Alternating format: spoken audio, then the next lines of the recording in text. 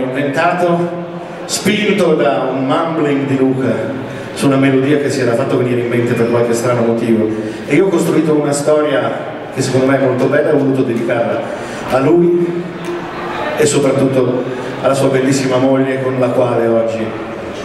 c'è una grande ricorrenza di cui parlerà lui. Allora, questo è uno 0202 che quest'anno è data palindroma, ma noi qualche annetto fa l'avevamo scelta perché ci piaceva, 02 data, eravamo in due e 02 poi gli altri due sono arrivati, quindi la dedichiamo anche a loro. Non hai detto finalmente